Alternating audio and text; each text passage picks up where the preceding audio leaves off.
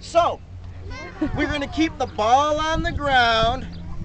Put the ball on the ground. Drop the ball, guys. There you go. the And rest your foot on top of it.